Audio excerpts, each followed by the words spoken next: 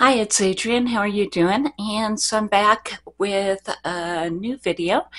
And this is the balm video, the balm, B-A-L-M. So um, I've used a whole bunch of products that all have balm in the word, and they all have that sort of feeling of kind of Vaseline sort of feeling to them.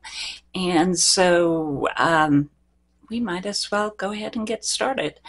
And uh, let's see, as far as what I did for foundation today, I did go ahead and get out my Z palette, which is like this. Isn't it cute? Love that one. And um, yeah, can't go wrong with the flamingo, you know? They're really cool. But anyway, I went ahead and used the Salt New York. This is their Sneaky Balm. And I have mine in shade 13, which is one of their late or lightest shades. It was their lightest shade at one point, um, but I did go ahead and use a sponge with it, and I thought it went on really well. Um, it actually you can build it up better with a sponge than with your fingers, and um, so yeah, really like the application.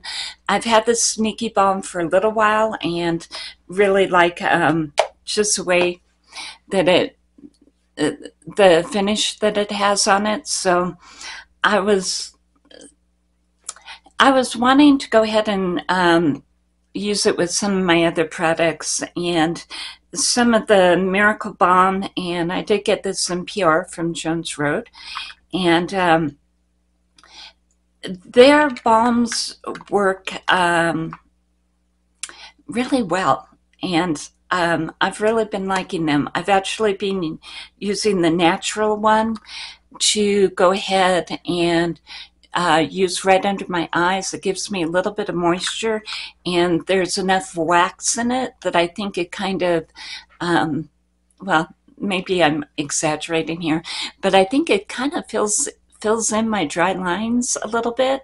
I mean, maybe it's all in my head. I it's not a scientific experiment, um, but that's just my feeling from using it, and I've really been liking it. And I've been using it around the mouth, under the eyes, and then on the forehead. And I just think it it softens the lines. It adds in a little moisture, and in the under eye, I think it just it really hits home for me and it really works. So I am really, really glad I got this and will probably be buying the big one because I'm liking it a lot. The other thing that I went ahead and used, um, again, it's an all balm video, the Miami Heat from uh, Jones Road. And so I went ahead and used that as a as my blush today. And I did really like that as well. And then um, as far as the highlighter today, uh, again, the Jones Road, this one is the, um, let's see, oh, Magic Hour. Yeah, I think it's Magic Hour. And this one has a whole bunch of glitter in it so that you can go ahead and uh, use it as a highlighter. It's more of a natural highlighter. It's not going to give you that glow to the stars and back, but again, really liking it. And then being me and um, always having all of the um, cheek color just disappear from my face. Um, I like to go ahead and lock it in with a powder. So I use the ColourPop Let's Dance and I put that over the top of it. And so, yeah, I have a whole bunch of different products on my cheek and I think they're all working together pretty well. So I'm liking that just realized that um, my lipstick had actually uh, sort of gone ahead and um, kind of pewtered out there. So I'm going to use the hard candy, and this one is in my type. And go ahead and use that.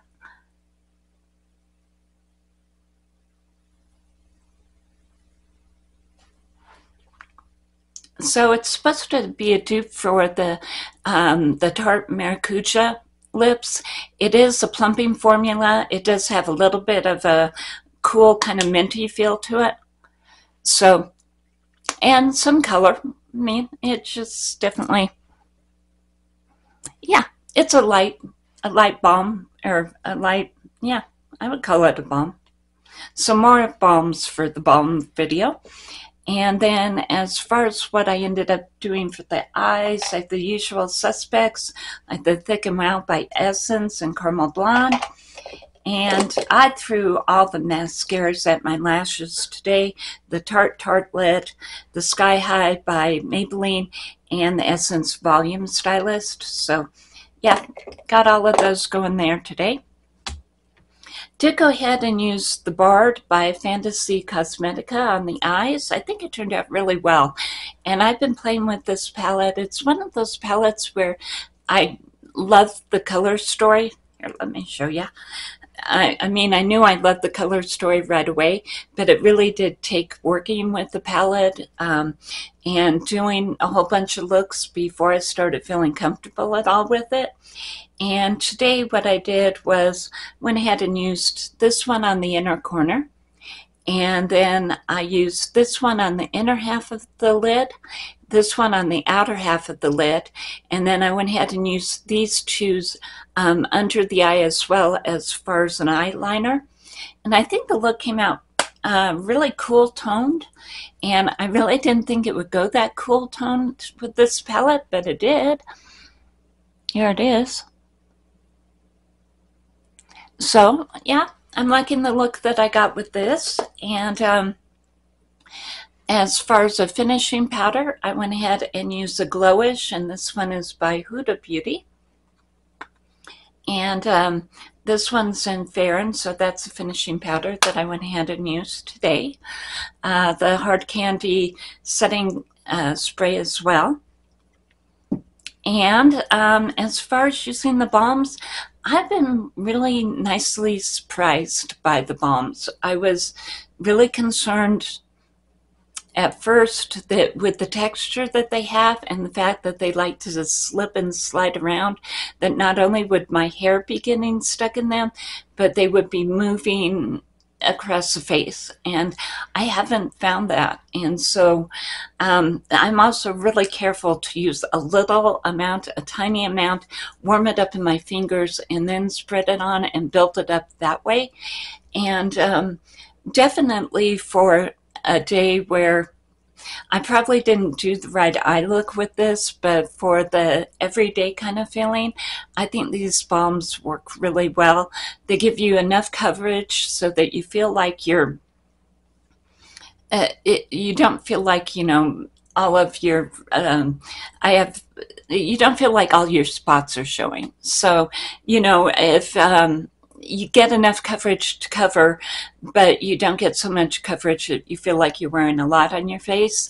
And um, they do give you a little bit of moisture. They give you a lot of glow. And um, I just, I've been really enjoying them. They haven't been sticking to my face. They've been giving me a little bit of sheen on my cheeks. And they haven't been moving around on me. So um, yeah, I'd say if anything, just make sure that you set them with a powder so that they don't go here, there, everywhere. But if you use, if you don't pile it on and use a little bit um, in your problem areas, or uh, you just build up the cheek you start with a little bit and then you build up the cheek to where you want it and you powder it. Uh, I think they work pretty well and I'm really enjoying them. I know they're coming out for the older group, and I think that's because the moisture and the glow in them. But I have really uh, been surprised, and um, and uh, yeah, I like them. So um, anyway, I think they're a good new addition to a product that we have before, and now they've been updated, and the new ones that are coming out are pretty spectacular. So I would suggest you try them and uh, play around with them on days that you're not doing um, that you don't have to look all put together so that you can see how they work best for your skin type. But yeah, they're fun, and I think that's the video, and I'm glad that uh, you joined me today, and I hope you have a great day. Bye.